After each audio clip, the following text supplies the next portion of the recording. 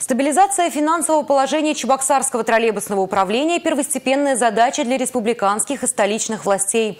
Уже принят ряд мер по оздоровлению предприятия. Из бюджета выделили более 40 миллионов на погашение задолженности за электроэнергию. Проведена инвентаризация непрофильных активов, оптимизация всего производственного процесса.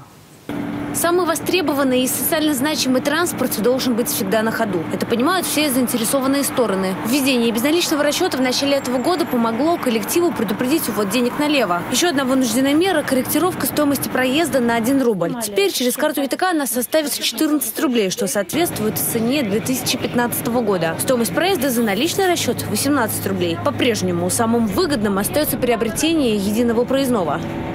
На сегодня э, пассажиру, который приобретает проездной билет и пользуется им в течение месяца, стоимость ему обходится меньше 9 рублей. Стоимость проезда в троллейбусах в Чебоксарах была одной из самых низких ПФО. Теперь мы сравнялись с Йошкар-Олой. В Уфе 20 рублей, в Казани 25. Когда администрацию города упрекает в беспрецедентном, чуть ли не спекулятивном подъеме, подъеме цены проезда до 18 рублей, это несправедливо потому что существует безналичная цена 14 рублей. Это во-первых. А во-вторых, реальная экономическая, экономически обоснованная стоимость проезда гораздо выше.